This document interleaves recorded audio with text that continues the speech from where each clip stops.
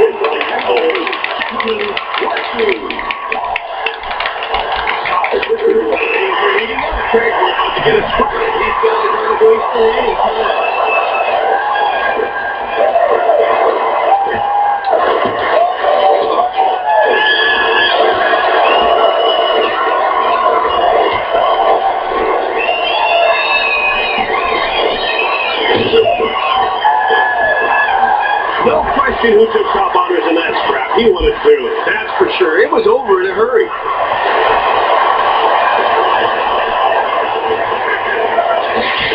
The players are lined up and